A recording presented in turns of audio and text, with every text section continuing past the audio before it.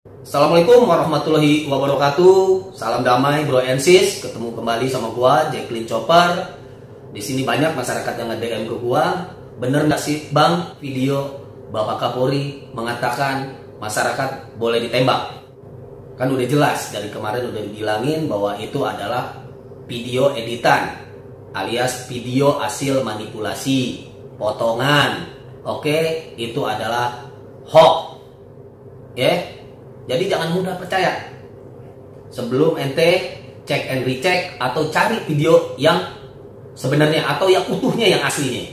Jadi yang banyak beredar itu seperti ini videonya. Masyarakat, boleh nggak ditembak? Siap, boleh jenderal. Sip. Siap. Video aslinya, Bapak Kapolri bertanya kepada anggota BRIMO.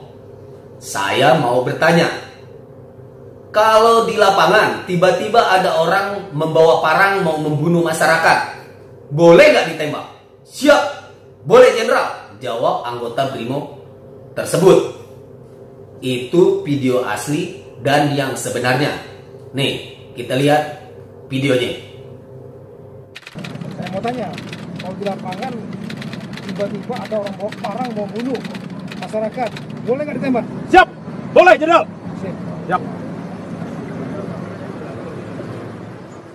Gue ingetin lagi kepada seluruh masyarakat Indonesia, khususnya untuk follower gue dan subscriber gue, agar cerdas dan bijak dalam bermedia sosial.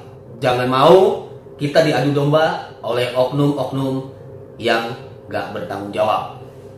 Jadi intinya tetap kalau andai kata kita menerima video harus kita saring sebelum sharing.